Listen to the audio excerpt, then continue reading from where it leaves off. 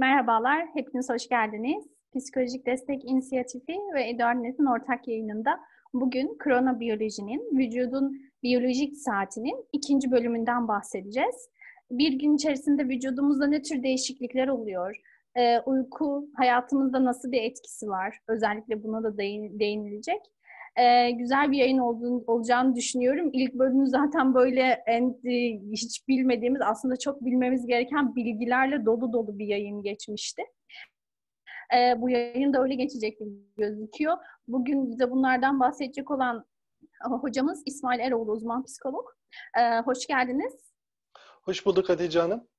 E, bugün e, hocam bize e, ben kısaca anlatmaya çalıştım ama bugün bize nelerden bahsedeceksiniz? E, nasıl dinleyelim? Kalemimizi, kağıdımızı Bugün, alalım mı? Hazırlanalım mı? Almanızı tavsiye ederim. Faydası olacağını düşünüyorum.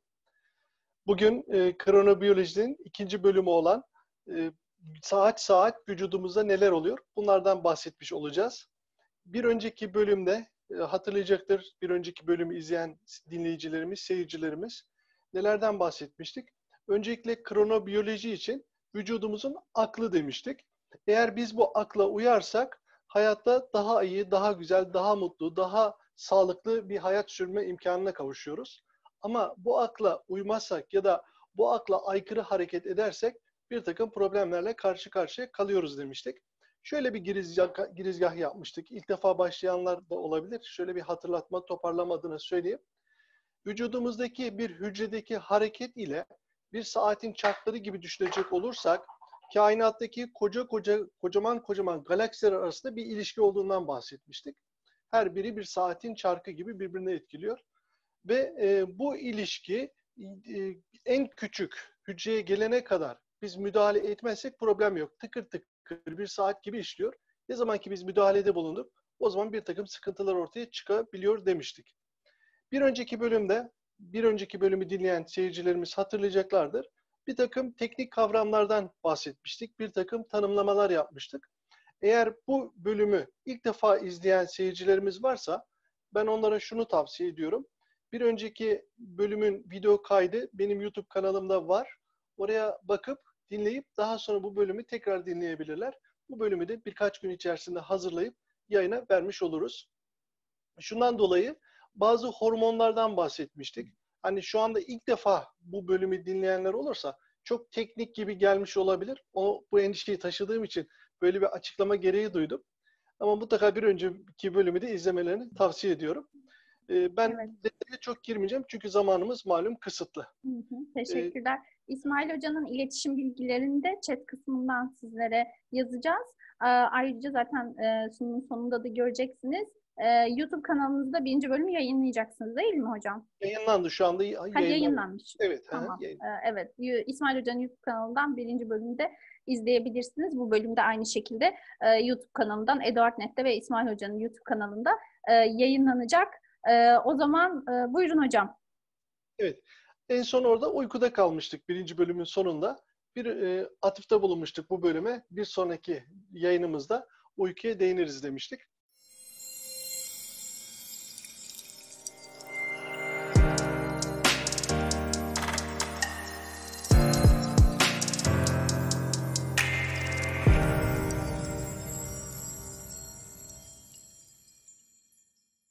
Önemli şeylerden bir tanesi kronobiyolojide uyku döngüsü, gece gündüz döngüsü olduğundan bahsetmiştik.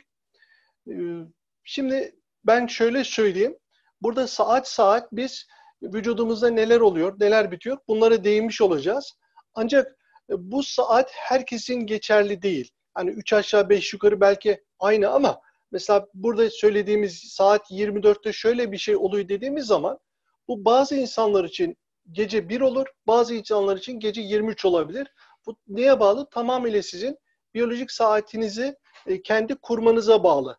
Yani bazen e, herkes belli saatte yatıyordur, belli saatte kalkıyordur. Bu şehride düşerek başlamak istiyorum ben. Bir sonraki slayta geçecek olursak orada şunu göreceğiz. Gece saat 24'ten başlatıyorum ben. Gece saat 24'ten itibaren vücudumuzda neler olmaya başlıyor? Bunları göreceğiz. Baktığımız zaman gece uykunun ilk evresi başlamış oluyor. Artık vücut dinlenmek için e, bir e, dilenmeye çekil, çekiliyor. Kendi biyolojik saatimiz doğal olarak bu şekliyle. Ve savunmasız bir pozisyonda vücutta çalışan bir takım hormonlar yerini başka hormonların salgılanmasına bırakıyor. Gündüz vakti çok ciddi anlamda çalışan bazı organlarımız artık dinlenme ya da bir tamire geçme, tamir boyutuna geçme ya da bir onarma boyutuna geçmek için hazırlanmaya başlıyor veya hazırlanmış oluyor. Mesela bu dönemde yaşanan bazı durumlar var vücudumuzda. Ne gibi? Ağrılı hastalara bu saatte ilaçların fazla tesir etmediğini görüyoruz. E, bir diğer yaşanan bir durum, psikolojik olarak yaşanan bir durum, ölüm korkusu en fazla bu saatlerde, bu zaman dilimlerinde hissediliyor. İnsanlar ölmeyle ilgili ki bazı istatistiklere bakıldığı zaman insanların bu saatlerde e, daha çok e, vefat ettiği, öldüklerini görüyoruz. Tabii ki doğal ölümlerden bahsediyoruz. Ekstra bir ölüm olmadığı müddetçe. Devam edelim. Baktığımız zaman bir sonraki slaytta e, neler oluyor vücudumuzda? Uykuya uyuduğumuzu düşünüyoruz. Benim gibi herkesin daha yastıkla kafası buluşur buluşmaz uykuya da daldığını varsayıyoruz. Bu dönemde uyurken vücut yenilenmeye başlıyor. Eğer biz akşam yemeğini zamanında aldıysak buna en son değineceğiz. Yani saat saat gideceğiz ama akşam yemeğini ne zaman yememiz gerekiyor buna değineceğiz. Akşam yemeğini kronobiyolojik, vücudumuzun biyolojik saatine göre aldığımızı düşünecek olursak artık vücut almış olduğumuz besinleri hücrelerin tamiri için kullanmaya başlıyor. İşte saçımız bu saatlerde uzuyor, hücreler bu saatlerde yenilenmeye başlıyor. Gün içerisinde çalışmalarından dolayı çalıştıkları için yıpranan dokularımız bizim uyku esnasında kendilerini yenilemiş oluyorlar. Eğer biz vücudun bu tamir edilme, onarılma dönemini kaçırırsak e, bir takım sıkıntılar yaşayabiliyoruz. Ne gibi sıkıntılar yaşıyoruz? Ben şuna benzetiyorum. Vücudun bir tabiri caizse temizlik dönemi, tamir dönemi, yenilenme dönemi olduğu için bu saatler bir mağaza düşünün, market düşünün. Sürekli markete gündüz vakti insanlar giriyorlar çıkıyorlar, giriyorlar çıkıyorlar, alışveriş yapıyorlar. Bu makarna reyonunda bulunan bir makarnayı alıyorlar bilerek ya da bilmeyerek sebze reyonuna koyuyorlar. Oradakini başka yere koyuyorlar falan. Ama ne yapıyorsunuz siz? Bir market sahibi olduğunuzu düşünelim. Ee, marketi kapattıktan sonra eşyaları olduğu olması gereken yere yerleştiriyorsunuz. Artı temizlik yapıyorsunuz. Bunu yapmadığınız zaman kapattınız e, hiçbirisini yapmadan. Ertesi gün marketinizi yeniden açtınız. Gelen müşteriler bir kargaşa yaşayacak. Temiz bulmayacak, hijyen bulmayacak. Aynen bunun gibi.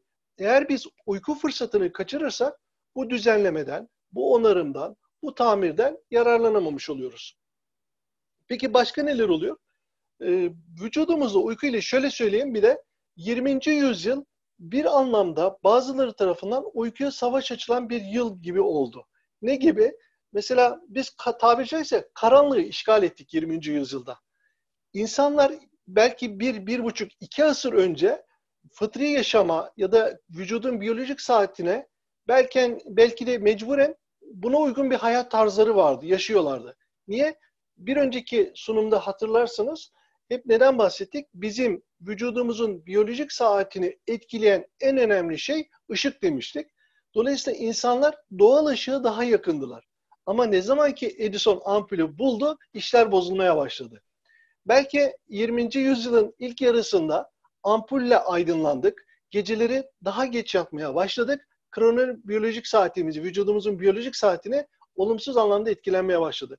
20. yüzyılın ikinci yarısına geldiğimiz zaman buna televizyonlar eklendi. 21. yüzyıla geldiğimiz zaman daha da biz işi büyüttük, savaşı büyüttük tabiri caizse. Tabletler eklendi, telefonlar eklendi. Göze daha çok ışık gelmeye başladı. Dolayısıyla şu an biyolo- vücudun biyolojik saati adına her geçen zaman işi biraz daha zorlaştırıyor. Tabiri caizse e, Anadolu'da bir tabir vardır. Kanırtma derler. Kanırtıyoruz yani biz tabiri caizse gittikçe daha da zorlaştırıyoruz. Evet. Peki hocam o, e, gece 12'den başladık ama Hı? uykunun daha önce başlaması gerekli değil mi?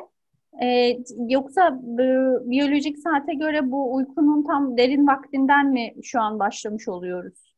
Şöyle, e, ben 12'den başlattım. E, başta bir şerh düşmüş değil mi? Tekrar hatırlatayım. Mesela bu bazıları için 11 olabilir. Bazıları için 10 olabilir.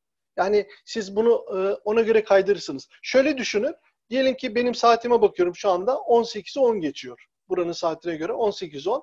Ama e, ben tutsam saatimi bir saat ileri alsam, saatime baksam 19-10'u gösterir. Bir saat geri alsam 17-10'u gösterir. Ama gerçek saat kaçtır? 18-10'dur. Yani bu bahsettiğim ve bundan sonra bahsedeceğim şeyler ortalama rakamlar, ortalama e, saatler. Yoksa herkese göre değişebilir. Hani benim 24 dediğim, ben 24'te başlatıyorsam sizin için 23 olabilir, bir başkası için 21 olabilir. Ama 3 aşağı 5 yukarı bunlar bu şekilde devam ediyor.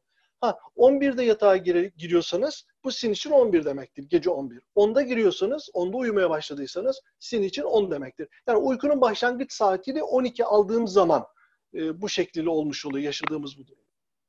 Hı hı. İlgili bir iki bir şey daha söylemek istiyorum. Ee, beynimizin bazı bölümleri biz uyku halindeyken daha aktif hale geliyor. Biraz sonra buna değineceğiz. Şöyle düşünün.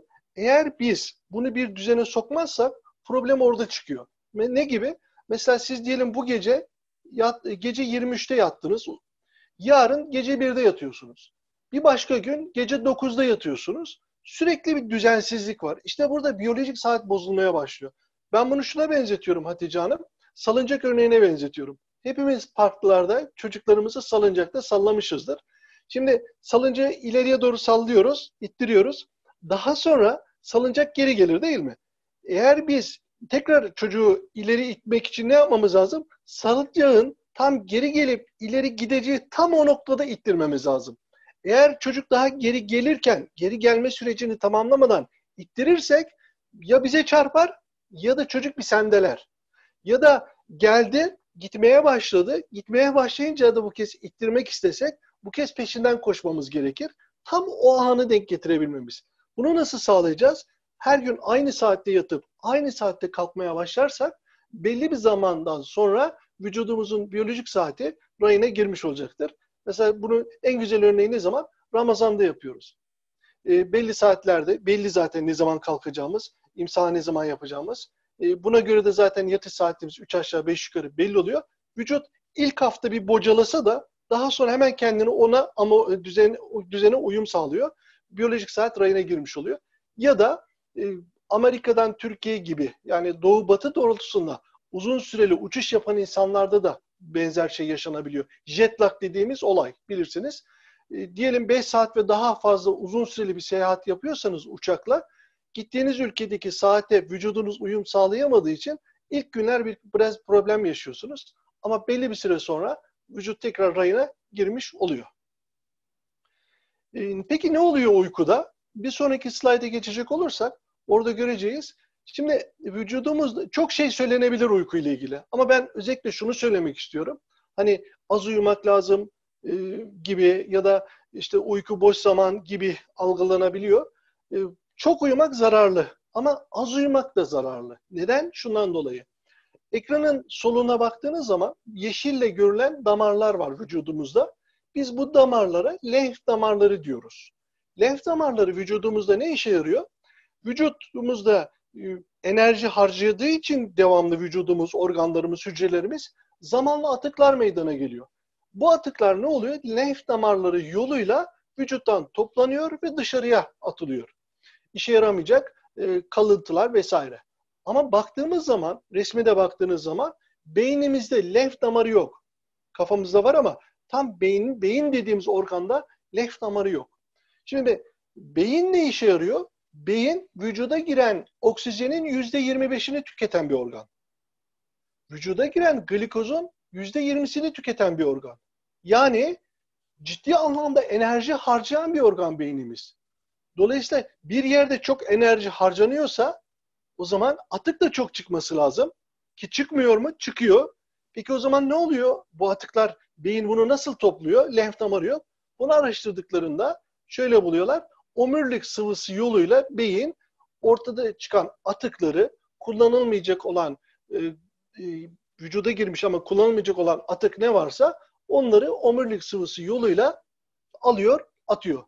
Ama bir durum var. Bunu ne zaman yapıyor biliyor musunuz? Bunu derin uykuya daldığımız zaman yapıyor. Eğer biz derin uykuya dalamıyorsak beyin bu temizleme işlemini gerçekleştiremiyor. Peki ne oluyor gerçekleştiremeyince? Ekranın sağına baktığınız zaman e, amyloid beta dediğimiz bir takım kalıntılar oluşmaya başlıyor. Protein artıkları oluşmaya başlıyor beyinde. Peki bunlar ne işe yarıyor? Şimdi şöyle düşünün. Evinizi o bir ay temizlemediğinizi düşünün. Eşyalar ne olur? Aradığınızı aradığınız yerde bulamazsınız. Mutfak karman çorman olmuştur. Her şey kirlenmiştir. E, ortalık pislikten geçilmiyordur. Bu normal temizlik hassasiyeti olan bir insanı ciddi anlamda rahatsız eder. İşte beynimizde de böyle bir durum oluyor. Aradığımızı aradığımızda bulamıyoruz. Ya da Alzheimer'da baktığımız zaman Alzheimer hastalarına bu amyloid betaların beyni ciddi anlamda e, normal insanlara göre daha fazla olduğunu görüyoruz. İşte biz yeterli uyku alamazsak amyloid betalar nedeniyle Alzheimer'a yakalanma ihtimalimiz bile var. Yani Alzheimer'a yakalananlar sadece uyuyamayanlar dem demiyorum. Öyle bir şey diyemem evet. ama böyle bir ihtimal var. Beynimizin o saatte temizlik yapması gerekiyor. Derin uykuyu alması gerekiyor. Bence bu bile biyolojik saatte uyumamız için çok çok önemli bir durum diye düşünüyorum. Kesinlikle. Uyku denilince hani hep bir bedensel yorgunluğun geçmesi, Hadi artık çok yoruldum işte ne bileyim iş yapacak halim kalmadı ya da çalışacak halim kalmadı. Hep bir bedensel yorgunluğun dinlenileceği bir e, vakit olaraktan görüyoruz ama gerçekten aslında beynin dinlenebilmesi için, zihnin bir şekilde o gün içerisindeki artık atıkları, şeyleri atabilmesi için e, en çok aslında onun için gerekli. Çünkü beden bir uzandığında hani da dinlenebiliyor ama uyku seviyesi artık o derin uyku dediğimiz şey gerçekten e, beynin dinlenebilmesi ve yeniden yapılanması için gerekli. E, öğrenmenin de bu derin uyku vakitlerinde e, gerçekleştiğine dair ben bir şeyler okumuştum. Öğrenme sistemi de beynin e, yeniden yapılanmasına, e, temizlenmesi ve yeniden yapılanması bu süreçte oluyor ve öğrenmelerin de en çok bu, bu zamanlarda olduğunu anlatan enteresan bir yazı vardı. E, gerçekten çok kıymetli. E, bir de peki kaç saat ortalama uyumamız gerekli? E, hani bu saatler ortalama bir vakitler ve ortalama bir vakit dediniz. E, peki uyku süresi olarak da düşündüğümüzde ortalama olarak minimum ya da bir maksimum bir değer var mı? Bu sorunuza cevap vereceğim ama az önce güzel bir noktaya temas ettiniz. Birazcık onu açmak istiyorum. Ee, dediniz ya hani öğrenmenin gerçekleştiği. Şöyle düşünün. Siz okula gidiyorsunuz. Öğretmen bir şeyler anlatıyor. Hızlı hızlı notlar alıyorsunuz. Biraz da böyle karman çorman hızlı yazıyorsunuz falan. Sonra ne yapıyorsunuz? Almış olduğunuz notları eve geliyorsunuz. Onları güzelce bir temize çekiyorsunuz. İlgili olan notu ilgili olan başlığa ekliyorsunuz. İlgili olan klasöre atıyorsunuz vesaire vesaire. İşte biz uyuduğumuz zaman beyin bunu yapıyor. Eğer biz düzgün bir şekilde uykumuzu alabilirsek, biyolojik saatimize uygun uykuyu uyuyabilirsek beyin tabiri caizse e, düzen, bilgileri de düzenliyor. Ya da yeni yeni bağlantılar kuruyor vesaire. Dolayısıyla hafıza adına, öğrenme adına ya da geleceğimiz adına düzgün uyumamız, e, yeterli uyumamız, biyolojik saatimize uygun uyumamız çok çok önemli. Evet. Gelelim sormuş olduğunuz soruya. Ne kadar uyumamız lazım? Şimdi bu yaş grubuna göre değişebiliyor. Mesela e, çocuklar çok daha fazla uyuması gerekiyor. Yaklaşık 9 saat. Yaşlılarda uyku düzeni bozulmaya başlıyor. Onlar daha sık uyanıyor, daha fazla uyuyabiliyorlar. Hatta bugün internette vardı. Fatih Altaylı'nın programında e, kimdi bir şey uyuyakalmış canlı yayında zannediyorum. E, şimdi e, normal bir insan yani yetişkin bir insanın uyku saati ne kadar olmalı sorusunun cevabı şöyle diyebiliriz. 90 dakika ve katları şeklinde tavsiye ediliyor. Neden? Uykuda belli dönemler var. REM dönemi, REM dönemi dediğimiz dönemler var. Bu bir dönem ortalama 90 dakika şeklinde sürüyor. Yani diyelim siz uykuya dalıyorsunuz. Uyku derinleşiyor, derinleşiyor, derinleşiyor. Sonra e, diyelim 40, 50, 60. dakikalarda en derin kısmını yaşıyorsunuz. Sonra hafifleşiyor. 90. dakika civarı. 90 olur, 100 olur. Uyku hafifliyor. Bu esnada uyandırılırsanız uyanabilirsiniz. Sonra farkında olmadan ikinci REM dönemi başlıyor. Üçüncü REM dönemi başlıyor. Dolayısıyla biz uykumuzu 90 dakika ve katları şeklinde almamız gerekiyor. O zaman nedir? Yetişkin bir insan için 6 saat bir uyku yeterlidir. Bana yetmiyor diyen olursa 7,5 saattir. Ee, ama 7,5 saatin üzerindeki bir uyku bizim için faydalı değil. Özellikle bakın geçen haftada zannediyorum değinmiştik. e, uykuyu salgılatan hormon neydi? Melatonindi. E, peki melatonin neyden üretiliyor? Serotoninden üretiliyor. Serotonin neydi? Mutluluk hormonuydu. Yani biz fazla uyudukça sabahleyin kalkmadığımız zaman yataktan uykumuzu uzattığımız sürece serotonin hormonundan yiyoruz. Dolayısıyla bu neyi sağlıyor? Bizim daha az mutlu olmamızı sağlıyor. Çünkü e, azalmış serotonin hormonu. Ya da yaz dönemi ile kış dönemi karşılaştırdığımız zaman kış dönemi depresyonun kişilerde daha fazla görüyoruz. Neden? Çünkü serotonin hormonu daha az üretiliyor bir anlamda güneş olmadığı için. Bunu evet. bu şekilde de söyleyebiliriz. Bunu ben en çok bebeklerde görüyorum. Benim de bir yaşında bir bebeğim var. Ee, hani gerçekten e, bir onlarda uyku düzeni bozulduğu zaman yani daha sinirli bir çocuk oluyor, daha gergin oluyor, daha çok ağlıyor mesela. Ama o uykuyusunu böyle tam alıp uyandığında böyle resmen böyle yüzünün parladığını fark edebiliyorum. Yüzünden belli oluyor. Yani o, o bir aynı aynı aslında benzer organizmalarız. Yani ben aynı organizmayız. Ya yani evet. o zaman bizde de aslında aynı şeyi veriyor. Biz de uykumuzu almadığımızda daha gergin, daha yorgun, belki yüzümüzden, belki vücudumuzdan belli olacak şeyler, olabilir, belirtiler olabilir. Ee, e, ve e, bu aynı saatte uykuya gitme olayı da mesela bende öyle bir bağlantı kurdu. Bebeklere uyku eğitimi verirken de uyku düzeni verirken de hep aynı saatlerde aynı rutinlerin hani yapılması gerektiğinden bahseder. Yetişkinde de böyle, yetişkinlerde de uykuyu düzene sokma noktasında hep aynı saatlerde, e, aynı saat e, civarlarında uykuya gitmeyi e, hep önerirler. Aynen sizin dediğiniz gibi. Şöyle diyelim ki bazen uykum gelmiyor diyor insanlar. Gelmese bile ortamı tamamıyla zifiri karanlık hale getirip yatakta bulunmak lazım. Çünkü bir sonraki slayta geçersek orada var bizi uyku hormonu dediğimiz melatonin hormonunun salgılanabilmesi zifiri karanlık olmasına bağlı. Eğer zifiri karanlık bir ortam yoksa, göze ışık geliyorsa beyne giden mesaj şu. Hatırlayın geçen haftadan epifiz bezine giden mesaj şu. Diyor ki ışık var, ha demek ki gündüz devam ediyor. Dolayısıyla e, epifiz bezi melatonin hormonunu salgılamayı geciktiriyor veya salgılamıyor. Mesela diyelim ki bunu geçen hafta da örnek vermiştim ama yeni katılan izleyicilerimiz olabilir düşünceyse tekrar söylüyorum. Panjurlu bir odada, yatak odanıza panjurlu bir panjur varsa bir bu odada yattığınızı düşünün. Bir de panjursuz bir odada yattığınızı düşünün. Panjur varsa, sabahları çekiliyse panjurunuz çok geç vakitlere kadar uyursunuz. Niye? Çünkü göze ışık gelmediği için epifiz bezine giden mesaj ortam karanlık, gece devam ediyor. Melatonin uyku hormonu salgılıyor.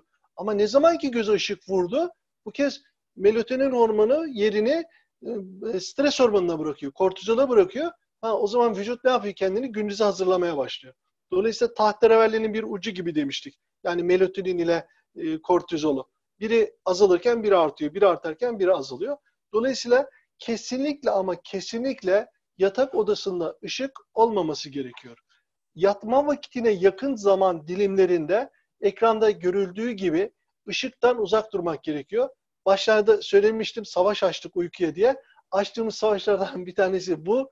E, cep telefonları direkt göze ışık vuruyor ve yoğun bir ışık vuruyor. Dolayısıyla ne oluyor? Beyne giden mesaj gündüz devam ediyor. Mesajı gidiyor. Beyinde ne yapıyor? O melatonin hormonu salgılamasını geciktiriyor. Evet. E, şimdi devam edelim. E, bir sonraki slayta geçtiğimiz zaman saat 1 saat 1 civarı olduğunda vücudumuzda neler oluyor? Artık vücudun verimliliği en alt düzeye düşüyor bu saatlerde. Ve melatonin ve leptin hormonu, leptin hormonuna daha sonra değineceğim. Leptin hormonları bu saatlerde en yüksek şekilde salgılanmaya başlıyor. Bir çan eğrisi gibi düşünecek olursak artık zirveye doğru melatonin uyku hormonu zirveye ulaşmış durumda. Ve bu saatte çalışanlar çok hata yapma ihtimalleri çok yüksek. Hatırlar mısınız bilmiyorum. 1986 yılında o zaman Sovyetler Birliği'ne bağlıydı. Ukrayna'da Çernobil vakası olmuştu. Ve Çernobil vakasının olduğu saat hatırlıyor musunuz bilmiyorum. Yani belki dikkat etmemiştir ama tam 1.23'te oldu. Ve o zaman söylenilenlere göre oradaki bir görevlinin yanlış bir hatası nedeniyle bundan dolayı Çernobil vakası oldu denilmişti ki e, o coğrafyada Türkiye dahil özellikle bizim Karadeniz kıyılarını çok geniş bir coğrafyayı etkilemişti. Radyasyon her tarafa yayılmıştı. Bunun gibi. Artı trafik kazalarının bu saatte yoğun olduğunu görüyoruz. İstatistiklere de baktığımız zaman. Neden? Şundan dolayı görme zayıflıyor. Çünkü vücudun dinlenmesi lazım bu saatte ve tepkiler yavaşlıyor. Yani karşıdan gelen bir aracın size yaptığı bir işareti, bir selektörü ya da bir e, yol kenarındaki bir tabelayı görme ihtimaliniz gündüz vaktine göre daha da azalmış oluyor. Dolayısıyla insanlar trafik kazası yapma ihtimalleri artıyor. Bir başka şey bu saatte yaşanan vücut soğuğa karşı daha aşırı derece hassaslaşıyor. Hatta çok yaşamışsınızdır. Ortamın sıcaklığı, odanın sıcaklığı aynı olmasına rağmen ya kaloriferi mi kapattılar, kaloriferi mi kıstınız gibi. Yani niye biraz üşümeye başladım, hava soğudu mu gibi bir durumla karşı karşıya kalabiliyoruz. Aslında değişen bir şey yok odada. Vücut bu noktada hassaslaşıyor. Bundan dolayı biz üşüme hissi daha fazla olabiliyor. Peki başka ne oluyor bu saatte? Vücut kendini yenilemeye başlıyor. Derilerimiz, hücrelerimiz kendilerini onarmaya, yenilemeye başlıyor. Nereden biliyoruz? Yaralar en hızlı bu süratlerde iyileşmeye başlıyor, tedavi ediliyor. Dolayısıyla e, bu saatleri uykuda geçirmek çok çok çok önemli. Ve bir diğer şey hamilelerin doğum yapma olasılığı bu saatlerde artıyor. Ben canlı seminer yaptığım zaman birebir bayanlara soruyorum. E, genelde gece doğum yaptıklarını söylüyorlar. Benim de üç çocuğum var. E, üçü de gece doğum yaptı e, diyebilirim. Birisi sabah karşı, diğerleri gece vakti. Hep doğum yaptılar. Sancılar bu saatlerde artmaya başlıyor. Bayanların doğum yapma ihtimali artıyor. Devam edelim. Gece 1-2 civarı bunlar yaşanırken vücudumuzda saat 3'e geldiğimiz zaman artık bir sonraki slaytta metafizik yoğunluk hat safhaya ulaşıyor. Gece 3 civarı ve melatonin zirve noktasında devam ediyor. Melatonin yoğun bir şekilde zirve noktada salgılanmaya devam ediyor. Bu saatler artık kişinin içe dönük saatleri, iç alemine dönük saatleri olmuş oluyor. Eğer bu saatlerde biz uyanıksak bedensel ve ruhsal olarak biraz böyle melankolik ola takılabiliyoruz. Melankoli yaşayabiliyoruz. Ya da hüzün diyebiliriz. Daha çok hüzünlü olabiliyoruz bu saatlerde uyanıksak. Ve bundan dolayı yapılan araştırmalar, istatistikler bize şunu gösteriyor. İntihar olayları en fazla bu saatlerde görülüyor. Bu da işte hormonlarla ilgili bakın. E, melankoli ol, takıldığımız için, melatonin hormonu yoğun bir şekilde salgılandığı için biraz da o noktada düşüncelere yoğunlaşırsak intihar olayları çok daha fazla görülebiliyor. Tembellik, kararsızlık gibi durumlar bu saatlerde çok çok yaşanıyor. Hayati bir karar alacaksanız şayet kesinlikle ama kesinlikle bu saatte karar almamanızı tavsiye ediyoruz. Neden? Çünkü beynin e, aktif olarak çalıştığı, karar verme ile ilgili bölgelerinin aktif olarak çalıştığı saatler bu saatler değil. Yanlış karar verme, hatalı karar verme ihtimaliniz bu saatlerde çok fazla olabilir, çok daha yüksek olabilir. Geçiyoruz. Yine saat, bir sonraki slaytta saat 3 civarı bu slayt. E, beden sıcaklığının düştüğünü söylemiştik e, saat 3'ten sonra 4'e doğru yaklaşırken uyku hormonu olan melatonin yavaş yavaş azalmaya başlıyor. Çan eğrisi gibi düşünüyoruz. Ama hala zirvede, hala yoğun salgılanıyor ama inişe geçmiş oluyor. Ve e, epifiz bezi bu 3 civarında, saat 3 civarında tekrar söylüyorum 12'de yattığımızı, uykuya daldığımızı düşünüyoruz. Bu saatlerde maksimum salgılanmaya başlıyor. Bir önceki sunumda bahsetmiştik. DMT dediğimiz bazı hormonlar ya da nörotransmitterler gibi hani insanın metafizik alemlerinin açılmasına neden olan bazı nörotransmitterler ya da hormonlar bu saatlerde zirve olarak, zirve noktasında salgılanıyor. İşte gece ibadetinin önemini burada görüyoruz. Bu saatlerde siz eğer melatonin hormonun yoğun olarak salgılandığı saatlerde kalkar gece ibadeti yaparsanız çok daha farklı e, mana alemlerine açılabiliyorsunuz. Bir önceki sunumda buna bahsettiğimiz için Mevlana şunu söylüyor. Diyor ki gece diyor e, geceleyin yol yürünür. Çünkü gece diyor sırların rehberidir. Herkes uyurken ilahi aşk sırları, mana zevkleri geceleri gönle gelir diyor. Bu saatleri kastederek ve çünkü ancak diyor gönül kapıları geceleri açılır diyor. İşte Efendimizin hayatına baktığımız zaman, büyüklerin hayatına baktığımız zaman ısrarla gece ibadetinde durmalarının sebebini belki bilimsel olarak bu şekilde açıklayabiliriz. İşte bahsettiğimiz epifiz bezinin maksimum aktiviteye ulaşması ve epifiz bezden salgılanan başta DMT olmak üzere bazı e, nörotransmitterler bizi mana alemlerine açık hale getiriyor. Gece saat 4 civarına geliyoruz. 4 civarında peki ne oluyor vücudumuzda?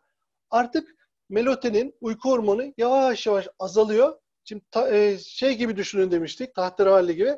Bir azalırken diğeri yükselecek. Yükselecek olan ne? Kortizol. Melatonin azalıyor. Yavaş yavaş böyle stres hormonu, kortizol hormonu salgılanmaya yavaş yavaş başlıyor. Vücut kortizol hormonunun salgılanmaya başlaması ile birlikte yeni gün için kendini hazırlamaya başlıyor. Ve vücut şöyle düşünüyor. Bugün benim için zor bir gün olabilir. O yüzden kendimi hazırlamam lazım deyip bu düşünceyle kortizolu yavaş yavaş artırmaya başlıyor. Kan basıncı yükseliyor, damarlar geriliyor vesaire. E, normalde gece, e, diyelim ki bir insanda e, kalp e, nabız atışı ortalama 80 ise gece uykusunda melatonin yoğun olduğu saatlerde 60'lara kadar düşebiliyor. Ama bu saatlerde tekrar yükseliyor.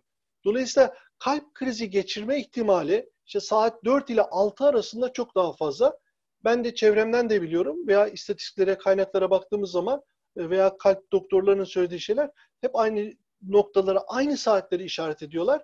4 ile 6 arası kalp krizi, enfarktüs dediğimiz kalp krizi geçirme ihtimali insanların çok daha fazla. Çünkü nabız yükseklikten, e, azlıktan yüksek bir şekilde atmaya başlıyor. Dikkat etmek gerekiyor bu saatlere. Bizim komşu vardı, kalp krizi, e, iki aile olarak öyle bir problemler vardı. Genelde bu saatlerde yaşadıklarına şahit olmuştum. Gene ne oluyor e, bu saatlerde? E, bir sonraki slaytlara geçebiliriz. Bir sonrakine. Kortizoldan geçen hafta bahsetmiştik o yüzden çok üzerinde durmuyorum. Saat 5. Artık e, gün stres hormonu dediğimiz kortizol bu saatlerde çok yüksek. Yani normal gündüzki değerinin neredeyse 6 katına ulaşıyor stres hormonu. Vücut kıpırdamaya başlıyor, harekete geçiyor. Kay, gecele, geceleyin kaybolan enerji tekrar toparlamaya başlıyor. Metabolizma hareketleniyor ve gün için, yeni için, gün için enerji ve protein depolamaya veya bunu hizmete kullanılır hale getirmeye, hizmete hazır hale gelmeye başlıyor. Gece boyunca sakin duran böbreklerimiz bu saatte faaliyetlerini hızlandırıyorlar. Yani normalde diyelim siz gün içerisinde 2 saatte bir, 3 saatte bir tuvalete gidiyor olsanız gece 6 saat uyum, uyuyorsunuz. Hiç tuvaletiniz gelmiyor çünkü böbrekler de dinlenmeye geçmiş. Ama ne oluyor bu saatte? Artık kıpırdadıkları için, harekete geçtikleri için tabiri caizse faaliyetlerini hızlandırıyorlar. E, lavabo, tuvalet ihtiyaçlarınız olabiliyor. Erkeklik hormonunun bu saatte gene çok salgılandığını görüyoruz. Bir sonraki slayta geçebiliriz. Şimdi ben şunu söylemek istiyorum burada biyolojik saate baktığımız zaman Efendimizin hayatıyla, Kur'an'ın bize söylediği hayatla, Efendimizin sünnetiyle çelişen hiçbir şey görmüyoruz. Birebir tıpatıp uyumlu. Burada Hazreti Ömer Efendimizin bir sözü var. Sabahın erken vaktinde uyumaktan sakınınız diyor. Zira ağız kokusu, ruhi dengesizlik ve tabiat yani mizaç bozukluğu meydana getirir diyor. Ya da bir gene bir başka sözü uyku diyor kuşluk vaktinde uyuyana akıl noksanlığı, İkindide uyuyanı ise delilik getirir diyor. Dolayısıyla bu 5 civarı, saat 6 civarı mutlaka ayakta olmamız gerekiyor. Ben hatırlıyorum, sizler de hatırlarsınız. Anadolu'da çok uzun ömür yaşayan insanlara sorarlar. Teyzecim, dedecim, bu kadar uzun ömür yaşamanın sırrı sizce nedir dediklerinde genelde ilk söyledikleri şey şu olur. Evladım ben üzerime güneşin doğduğunu hatırlamıyorum derler. Yani güneş doğduğunda ben ayaktaydım. Hep bunu söylerler. Eğer bakın geçen hafta söylemiştik melatonin hormonu bizim ömrümüzü uzatıyordu. Yani düzgün bir şekilde biz uyursak ya da vücudumuzun biyolojik saatine, vücudumuzun aklına riayet edersek aynı zamanda bizim ömrümüz de uzamış oluyor. Üzerimize güneş doğdurmazsak şayet bu saatlerde e, bizim e, sağlığımız adına çok daha faydalı olmuş oluyor. Vücut bu saatlerde yeni güne başlamak için hazır hale geliyor. E, bu saatten sonra uykuya devam etmek sıkıntılı bir durum. Neden? Eğer başta biraz önce bahsetmiştim. Eğer bu saatten sonra kortizol salgılanmaya başlamış, melatonin uyku hormonu azalmış ama siz ne yapıyorsunuz? Uyumak için vücudu zorluyorsunuz. Yani vücuda melatonin salgılatmaya çalışıyorsunuz. Bir dengesizlik oluyor. Diyelim ki melatonin salgılatıyorsunuz, uyumaya devam ettiniz. Ne demiştik? Serotonin yani mutluluk hormonundan çalıyorsunuz. Ondan çaldığınız için de sizin gün içerisinde ihtiyacınız olan belki de mutluluk hormonu azaldığı için o istediğiniz mutluluğu yakalayamıyorsunuz ki bununla ilgili yapılan araştırmalar var.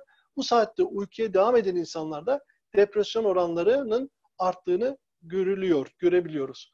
Özellikle koronadan dolayı evlere kapandığımız şu günlerde sabah saatlerinde mümkün mertebe yani imkanlarımızı zorlayarak ayakta kalmaya dikkat etmemiz çok çok faydalı. Peki dinlenmemiz lazım, uyumamız lazım. Biraz sonra geleceğiz. Öğle vakti bunun için ideal saatler. E, bunu yapabilirsek, kaylule dediğimiz ya da batıda siesta dediğimiz durum gerçekleşirse zaten dinlenmiş oluyoruz. Yani gereksiz bir yatma olmuş oluyor bu saatlerde yatmalarımız.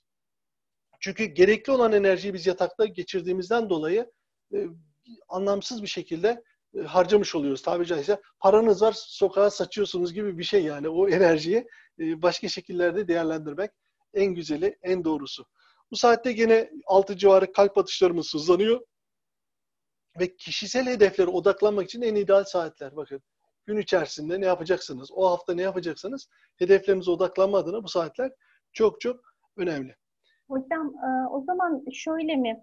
Bu saatlerde salgılanmaya başlayan stres hormonu diye adlandırdığımız kortizol aslında bu saatlerde bize bize güne başlamak e, başlamamıza yardımcı olan hani bir, bir noktaya kadar gerekli olan stres hani kaygıya sebep olan değil ya da gereksiz duygu evet. durumlarının düşmesine ya da yükselmesine sebep olan değil de bizi güne başlatan aslında bir e, içici güç olaraktan meydana geliyor e, hani hep stresin şimdi anlamı da hep kötü ya.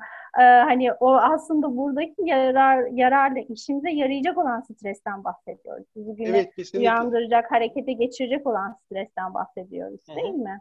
Evet. Ben geçen hafta buna değindiğimiz için tekrar üzerinde durma gereği duymadım. Bir de ikide bir de geçen hafta geçen hafta demek istemediğim için. E, geçen hafta bunu bahsetmiştik.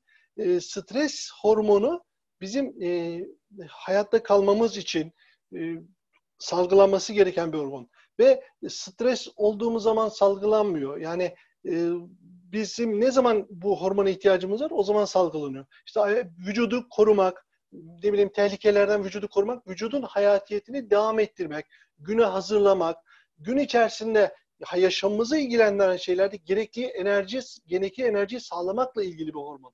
Yoksa stres belki hemen kafamızda olumsuz şeyler çağrıştırıyor olabilir ama e, çok çok faydalı bir hormon. Geçiyoruz saat oldu 7 sabahleyin. Bu saat gene yatmadığımızı, gece 12'de uykuya daldığımızı farz ederek bu şekilde diyoruz. Saat 7 oldu. Artık organizma uyanmış ama biraz zayıflık söz konusu organizmada. Kaslar ve eklemler bu saatlerde soğuk oluyor. Bu nedenle vücut biraz daha katı olabiliyor bu saatlerde. E, bu saatlerde spor yapmak tavsiye edilmiyor. Neden? Çünkü kaslar esnek değil. Katı olduğundan dolayı yaralanma ihtimali bu saatlerde çok daha fazla. Allah muhafaza düştünüz. Bacağınızın normal bir zamanda aynı şiddetli düşmeye göre bu saatte bir yerlerinizin kırılma ihtimali daha fazla. Çünkü eklemler ve kaslar daha katı olduğundan dolayı. Sindirim artık faal duruma geçmiş. Bu saatlerde yapılacak saat 7 civarı, 7-8 civarı yapılabilecek en güzel şey güzel bir kahvaltı yapmak. Devam ediyoruz kahvaltımızda yaptığımızı farz ederek. E, bu saatte yapılmaması gereken bazı şeyler var. E, bu saatte sigara içmek sağlığı en çok zarar verildiği dönem olduğu görülmüş. Aynı şekilde alkol kullanmak.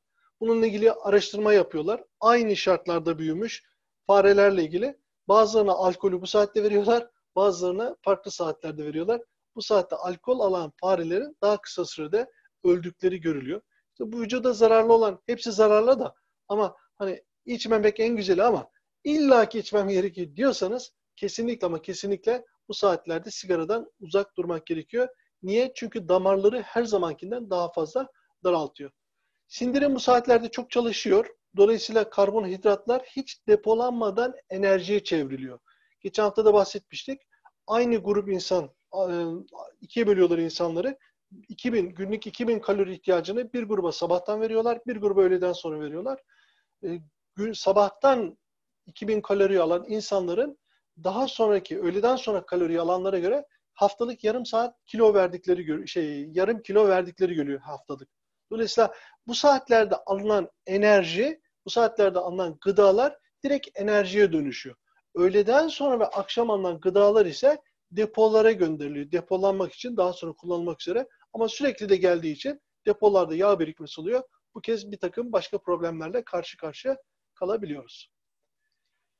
Geldik saat 9 civarlarına. Bedenin kuvveti yavaş yavaş artmaya başlıyor. Kaslar sportif hareketleri cevap verebiliyorlar artık bu saatlerde.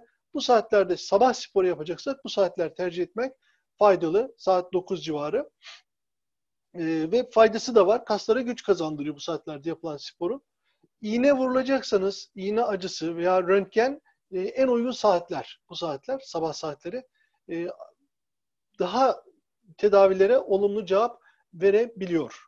Bu saatlerde vurulan iğne veya röntgen. Ee, geçiyoruz saat 10 civarı. Kardiyolojik testlerde e, özür dilerim. Heh, e, bedenin kuvveti bu saat 10 civarı maksimum seviyeye ulaşıyor. Zihin maksimum seviyede hareket ediyor. Vücut ısısı en yüksek seviyeye ulaşmış durumda. Tabiri caizse vücut tam bir alarm durumda ama faydalı bir alarm. Enerji yüksek, verimlilik yüksek, beyin çok yaratıcı, çok dinamik. Kısa süreli bellek çok iyi. Yapılan araştırmalar var. Bir e, benzer gruplara, aynı seviyedeki çocuklara bir şey okutuyorlar, ezberletiyorlar. Bir kısmını bu saatte, bir kısmını öğleden sonra ezberletiyorlar. Bu saatte ezberleyen çocukların e, bilgiyi daha çok hatırladıkları görülüyor. Onun için e, karar verme, konsantrasyon gibi, mantıklı düşünebilme gibi durumlarda beynimize en üst seviyeye çıkıyor. Hayati bir karar vereceksiniz. Bir karar alacaksınız geleceğinizle ilgili. Bu saatleri tercih etmek isabet etme adına çok faydalı olabilir. O yüzden hani gece değil bu saatlerde karar vermeyi tercih etmek en doğrusu. Mantık her şey üst seviyede çalışıyor bu saatte. Geçiyoruz. Yine saat 10 civarı. Kardiyolojik testlerde bazı kalp rahatsızlıklarının anlaşılamadığı tespit ediliyor. Neden? Çünkü vücut maksimum seviyede çalışıyor ya. Kalp doktoruna gidiyorsunuz. Testler normal çıkabiliyor. Halbuki bir saat, iki saat, üç saat sonra gitseniz sizin o hastalıkta haliniz ortaya çıkacak. Ama bu saatlerde gidenlerde görülmeye biliyor. Beden maksimum formunda. Bu saatlerde artı bir şey daha var. Psikolojik anlamda tabiri caizse gönül rahatlığı hakim. Kızgınlık hissi en az seviyeye düşüyor. Eğer birisiyle tartışmalı bir konu yapacaksanız, tartışmalı bir konu yapacaksanız bu saatleri tercih etmekte fayda var. Diyelim eşinizle bir şey konuşacaksınız ama biliyorsunuz ki işin ucunda tartışma da var. O zaman sabah akşam saatleri değil veya başka vakitler değil. En ideal saatler sabah 10-11 civarları ideal saatler. Kızgınlık hissi minimum artı gönül rahatlığı hakim. Tabiri caizse günün zirve noktasını biz bu saatlerde yaşıyoruz. Saat 10-11 civarında. Geldik saat 12. Ben de kendi saatime bakıyorum. Süremizin de sonuna doğru yaklaşıyoruz. Ee, saat 12. 12'de ne oluyor peki vücutta? Yorgunluk baş göstermeye başlıyor. Eğer öğle yemeği yediysek, sabah 7'de kahvaltı yaptığımızı düşünüyoruz. Bu saatlerde öğle yemeği yediysek bir yavaş yavaş e, yemeden önce özür, yemeden önce karnımız acıkmaya başlıyor. Dikkatimiz azalabiliyor, uyku bastırabiliyor beyne giden kan miktarı düşebiliyor. Çünkü e, beyne gidiyor, düşüyor kan miktarı sindirim için hazır hale geliyor. Bir sonraki gene saat 13 civarında bir sonraki slayta geçtiğimizde artık organizma iyice gevşemiş durumda. O zirve demiştik ya saat 10-11 civarı. Zirveden artık iniş başlıyor bu saatlerde. Dolayısıyla vücut formu düşmeye başlıyor.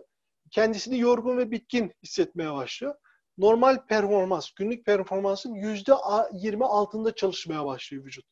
Eğer bir de öğle yemeği yediysek vücuda da bir ağırlık çöküyor. Peki o zaman bu saatte yapılması gereken saat birden sonra, ikiden sonra en ideal şey ne? E, dinlenme, kaylule.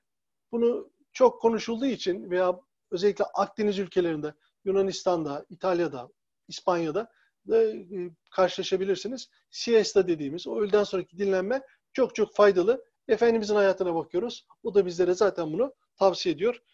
Ee, peki Bunu oraya havale ederek e, ilahiyatçılara veya Efendimizin sünnetiyle ilgili meraklı olanlara havale ederek geçiyorum ben. Geldik saat 14 civarına.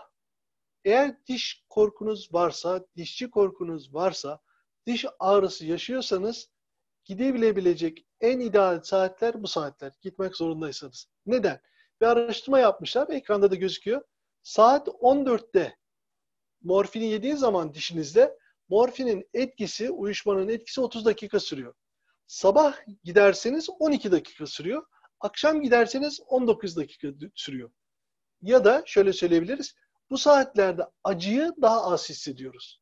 Dolayısıyla diş için tavsiye edilen, diş tedavileri için tavsiye edilecek saatler öğleden sonra 2 civarı tavsiye ediyoruz.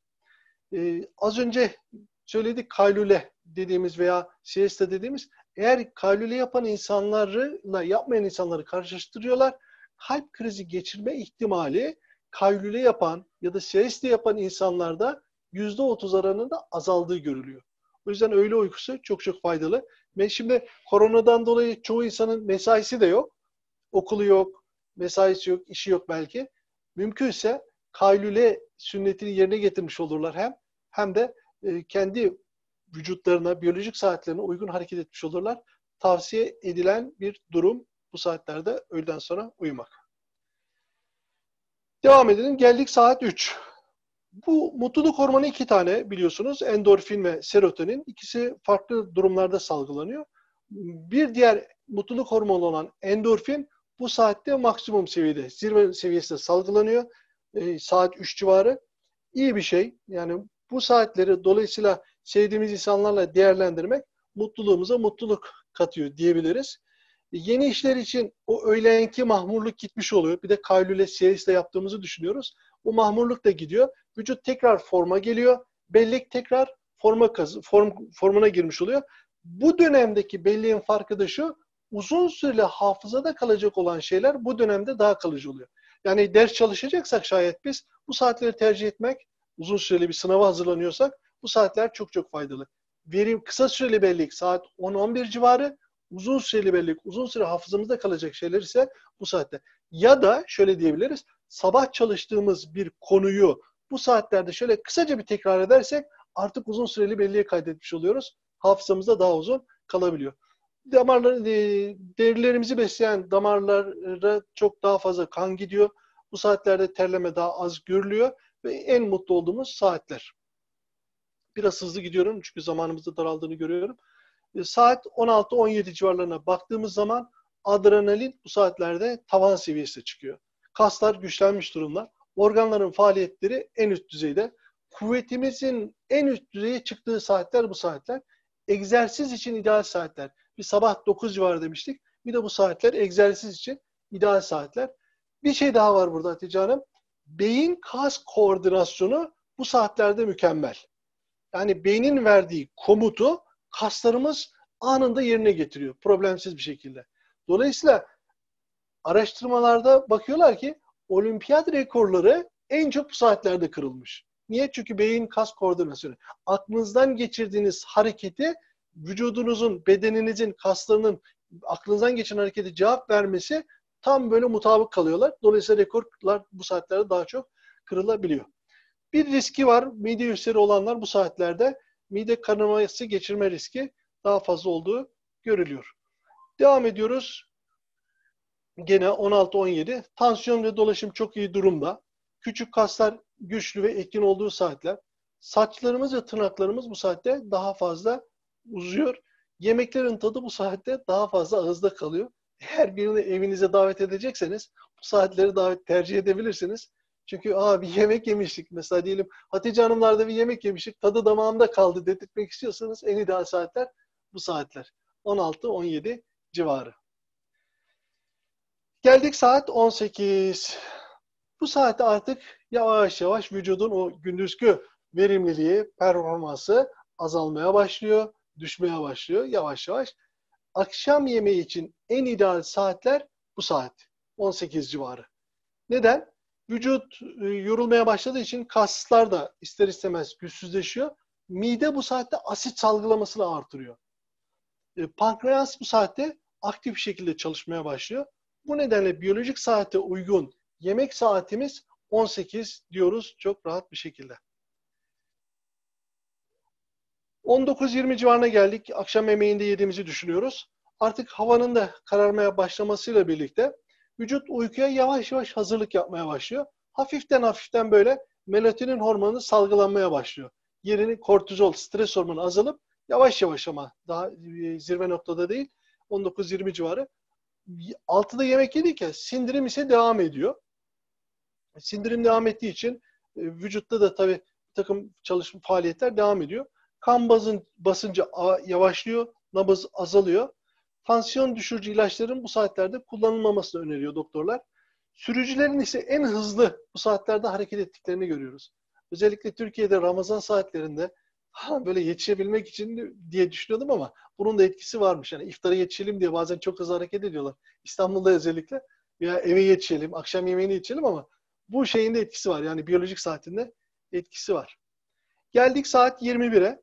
Saat 21 yemeğin tehlikeli olduğu saatler. Özellikle saat 9'dan sonra, akşam 9'dan sonra yemek yemek çok tehlikeli. Neden? Şundan dolayı sindirim bitiyor bu saatlerde. Yani vücut artık kendisi onarmaya, gündüzki almış olduğu enerjiyi, gündüzki almış olduğu bilgiyi e, işlemeye başlaması gerekiyor. Yemeğin tehlikeli olduğu saatler. Bu saatten sonra yenen her şey midede sabaha kadar e, hazmedilmeden kalıyor. Kaldığı için de işte hoş olmayan ağız kokusu vesaire veya gece çok ciddi anlamda rahatsız olursunuz. Yani gece 9'dan sonra ağır yemek yediyseniz hele yağlı yemekler falan yediyseniz bu saatten sonra gece boyu rahatsızlık hissedebiliyorsunuz. Çünkü bu saatte vücudun dinlenmesi gerekiyor, sindirimin durması gerekiyor. Ama siz durdurmadınız, yemeğe devam ettiniz, o zaman vücut şaşırıyor. Yani sindirim mi devam etsin yoksa e, dinlenme moduna mı geçsin? Karıştırdığından dolayı vücutta bir takım problemler ortaya çıkabiliyor. E, ve şunu görülmüş, e, eğer yemek e, midenizde sindirilemediği için tam olarak bu kez vücuda zarar veriyor, bir mideye zarar veriyor ya da bağırsaklara zarar verebiliyor. İşte mide ekşimesi vesaire görülebiliyor. Şimdi ben burada birazcık bir açmak istiyorum bu yemek olayını. Şöyle bir durum yaşıyoruz. Ee, bir sonraki slayta geçebiliriz. Biz bir şey yediğimiz zaman bir şey yedik. Ne olursa olsun bir tane mandalina dilimi bile olsa bir tane dilim veya işte bir tabak tatlı bile olsa bir şey yediğimiz zaman e, beyin kanımızdaki şeker seviyesini daima kontrol ediyor. Kandaki şeker miktarı nedir? Bunu daima kontrol ediyor. Eğer kandaki şeker miktarı yükselirse hemen pankreas devreye giriyor. Pankreas ne yapıyor peki? İnsülin salgılıyor. Bir mandalina bile yemiş olsak, şekerli bir sakız bile yemiş olsak, ağır bir yemek yemiş olsak kanda şeker miktarı arttığı zaman pankreasımız insülin hormonu salgılıyor. İnsülin hormonu ne işe yarıyor? Kandaki şekeri, fazla şekeri alıyor, yağa dönüştürüyor ve depolara gönderiyor. Vücuttaki depolara gönderiyor. Kandaki olması gereken seviyeye düşene kadar bu faaliyetini devam ettiriyor. Şimdi bir şey yediğimiz zaman, yemek yedikten sonra yaklaşık olarak 2 saat insülin salgılanıyor vücudumuzda. 2 saat insülinden sonra da glukagon, e, glukagon diye bir hormon salgılanıyor. Bunlar çok belki teknik terimler ama şöyle diyebiliriz. Bir şey yedik, yemek yedik, sindirim 4 saat sürüyor. 4 saatten sonra vücut dinlenmeye geçmesi lazım. Şimdi sindirim bitti ya ama hücreler çalışmaya devam ediyor. Hücrelerin enerji ihtiyacı var. Bu kez ne oluyor biliyor musunuz? Leptin hormonu diye bir hormon var. Canan Karadayı dinleyenler varsa veya kitaplarını okuyanlar bu hormonu çok duymuşlardır. Yeni bulunan bir hormon. 1994 yılında bulunmuş bir hormon. Leptin hormonu bize tokluk hissi veren bir hormon. Artı şimdi e, vücutta e, kanımızda şeker seviyeleri normal. Yeni bir şey yemiyoruz ve vücudun da enerjiye ihtiyacı var. Hücrelerin de dokuların enerji ihtiyacı var. Bu kez ne oluyor? Leptin hormonu devreye giriyor. Peki ne yapıyor leptin hormonu? Depolardan hor- e, gerekli olan yağları alıyor, enerjiye dönüştürüyor, ilgili yerlere gönderiyor. Ama siz saat 9'dan sonra yemek yemeye devam ederseniz bu leptin hormonu bir türlü devreye giremiyor. Niye? Çünkü vücut devamlı bir şeyler geliyor. Kandaki şeker seviyeleri yükseliyor, insülin salgılanmaya başlıyor. İnsülin salgılandığı için leptin hormonu salgılanamıyor vesaire. Dolayısıyla 9'dan sonra bir şey yemek bu yüzden çok doğru bir şey değil.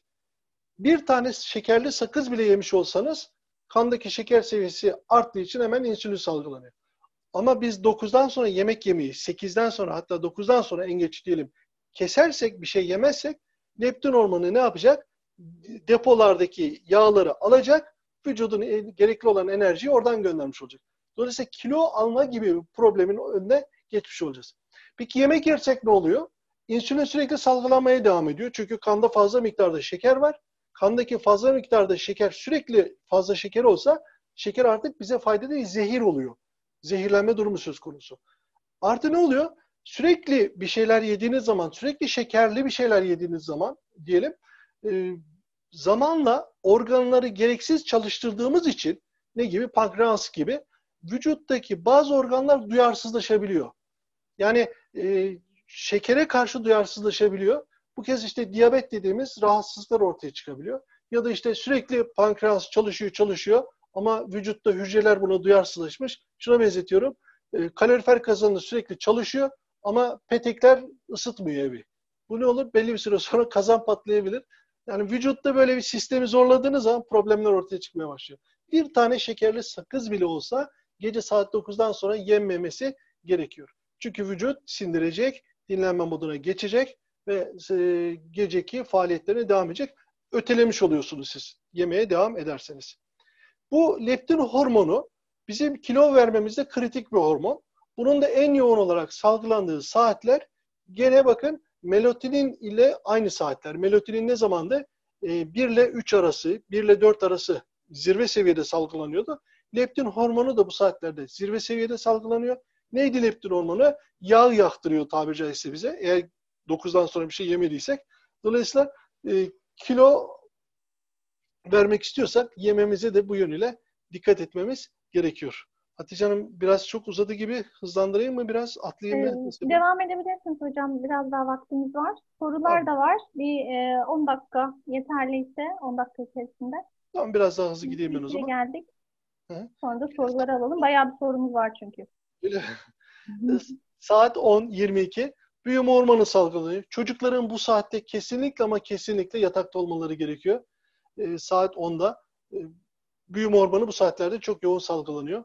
Bağışık, bağışıklık sistemimiz etkin bir şekilde çalışıyor. E, nikotin, gene sigara bu saatten sonra alınan sigara bu saatten sonra da çok zararlı. E, ve sabah saatlerine kadar vücutta kalıyor. E, geçiyoruz saat 23. Tam uyku ve dinlenme saati. Artık vücut dinlenmeye geçiyor. E, stres hormonu salgılanmasını durduruyor bu saatten itibaren. Artık melatonin yani o tahterevellinin tam tersi bu şey noktası burada başlıyor. Melatonin fazlalık %51'lik kısma melatonin geçiyor.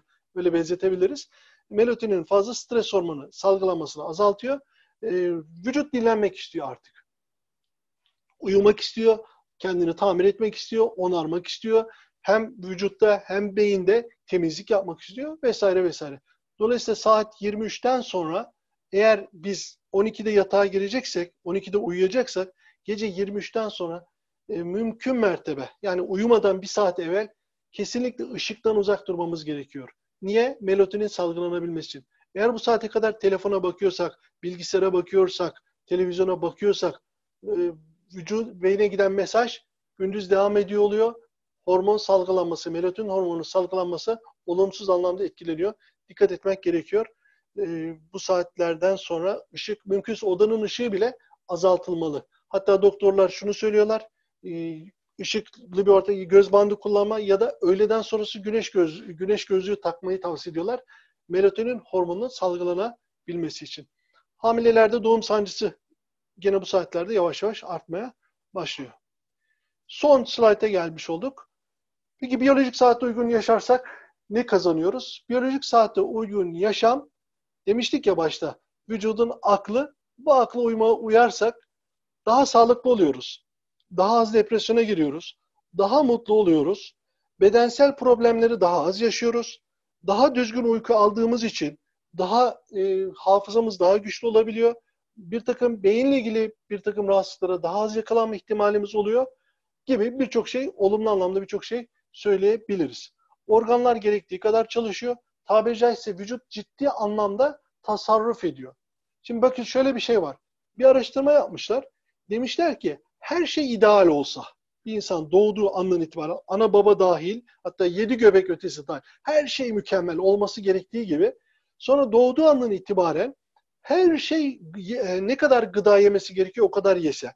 Etrafta hiç böyle hastalık vesaire şu bu neyse her şey mükemmel olsa bir insan acaba ne kadar uzun süre yaşayabilir? Bir insan ortalama ne kadar uzun süre yaşayabilir? Ne çıkmış biliyor musunuz? 250 yıl çıkmış.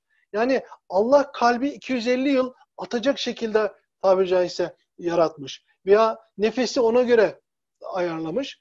Ama biz hızlı bir şekilde ne yapıyoruz? Farklı e, diyelim arabanız var. Garanti süresi veriyorlar değil mi? Bu garanti atıyorum mesela diyor ki bunun garanti süresi 5 yıl diyor. Ama neye bağlı? O şartlarda o üretici firmanın istediği şartlarda kullanırsanız. Tabiri caizse bizim de garanti süremiz 250 yıl diyebiliriz. Ama ne yapıyoruz? Ya biyolojik saatimizi oynuyoruz ya da işte bir takım hastalıklara maruz kalıyoruz işte korona gibi. Ya bunların işin sebep boyutu, dini boyutu ayrı ama hani ben biyolojik olarak, psikolojik olarak bunu anlatıyorum. Ee, daha uzun ömürlü yaşamak istiyorsak biyolojik saate uygun hareket etmemiz gerekiyor. Biyolojik saatin aklına kulak vermemiz gerekiyor deyip burada bırakıyorum. Sizin katkılarınız varsa ya da sorular varsa onlara geçebiliriz. Tam da bir saat olmuş başlayalım. Çok teşekkür ediyorum. Katılımcılarımıza da çok teşekkür ediyorum. Eklemek istediğiniz, e, belirtmek istediğiniz e, bir şeyler varsa buyurun. Son olarak şunu söyleyebilirim. Ya nasıl olsa korona günlerindeyiz, nasıl olsa evdeyiz e, gibi biyolojik saatimiz bugünlerde bozulmuş olabilir.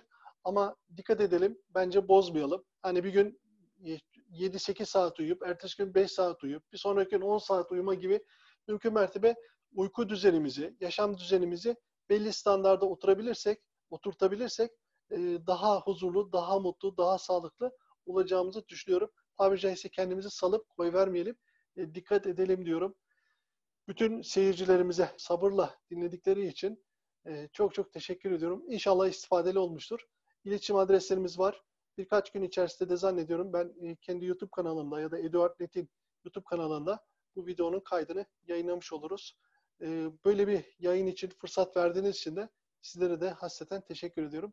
Çok sağ olun, var olun. Hayırlı, sağlıklı, mutlu günler uyku diliyorum. uyku dolu. Sağlıklı uyku dolu, düzgün Sağlıklı uyku dolu günler diliyorum. Evet. Ee, herkese katılımından ötürü çok teşekkürler. Ee, bir dahaki programımızda görüşmek üzere. Program duyurularını Eduard Net'in e, iletişim kanallarından ve Psikolojik Destek İnisiyatifi'nin iletişim kanallarından e, edinebilirsiniz. Görüşmek üzere. Hayırlı günler. Hayırlı günler. Herkese iyi günler.